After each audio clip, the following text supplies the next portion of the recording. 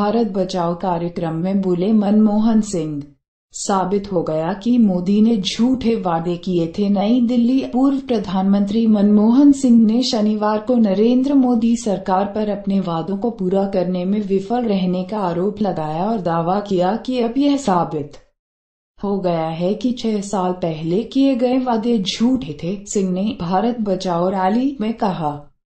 आज से तकरीबन छह साल पहले मोदी जी ने देश की जनता को बड़े बड़े सब्जबाग दिखलाए थे। उन्होंने जनता से वायदा किया था कि वो 2024 तक देश की राष्ट्रीय आमदनी को 5000 अरब डॉलर तक पहुँचा देंगे। किसानों से उन्होंने वायदा किया था कि किसानों की आमदनी पाँच साल में दोगुनी कर दी जाएगी। देश के नौजवानों से उन्होंने ये वादा किया था कि हम हर साल दो करोड़ नए रोज़गार के साधन मुहैया कराएँगे। पूर्व प्रधानमंत्री मनमोहन सिंह ने शनिवार को नरेंद्र मोदी सरकार पर अपने वादों को पूरा करने में विफल रहने का आरोप लगाया और दावा किया कि अब यह साबित हो गया है कि छह साल पहले किए गए वादे झूठे थे, सिंह ने कहा।